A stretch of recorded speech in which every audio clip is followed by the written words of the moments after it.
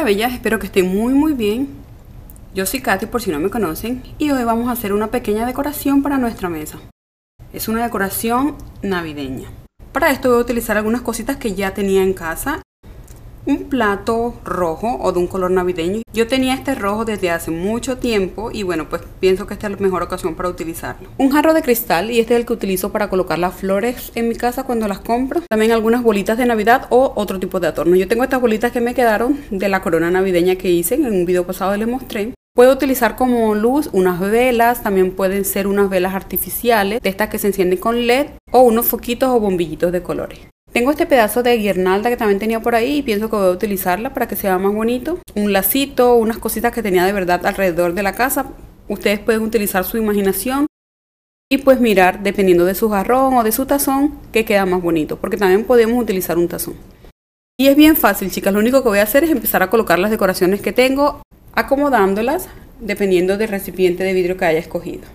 Vamos colocándolas bien bonitas, de la manera que ustedes piensen que se ve mejor no hay un patrón a seguir exactamente, simplemente usen su imaginación y coloquen las cositas que ya tienen en casa de una manera bonita para que se vea más llamativa.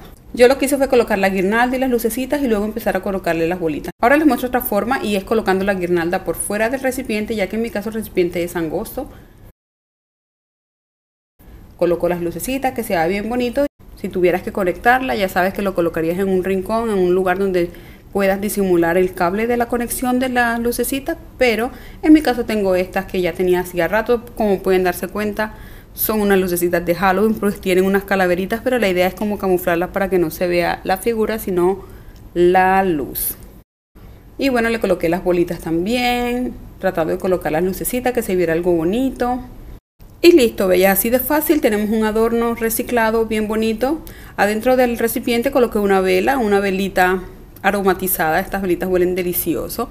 Yo escogí una blanca para no darle más color a esto. Y luego con este lacito que ya tenía también por acá, que me había quedado extra, lo que hice fue tapar la cajita de las baterías para que no se viera tanto.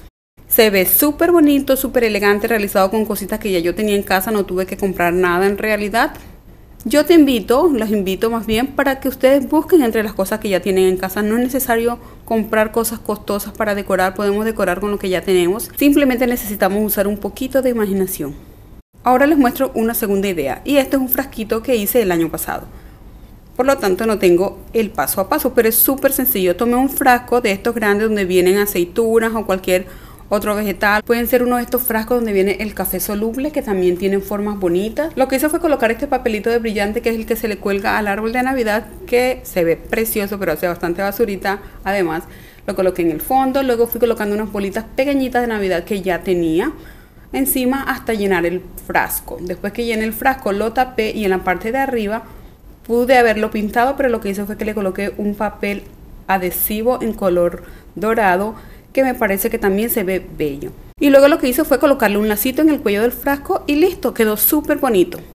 Espero que les hayan gustado estas dos ideitas para tomar cositas que ya tenemos en nuestra casa y realizar adornos navideños. Cualquier pregunta, duda, sugerencia, saben como siempre que pueden dejármela en los comentarios. Yo por ahorita me despido deseándole una feliz fiesta, deseándole muchísimas bendiciones y mandándole muchos besitos. Mm, cuídense mucho, que yo los sigo esperando aquí en Belleza by Katy. Chao.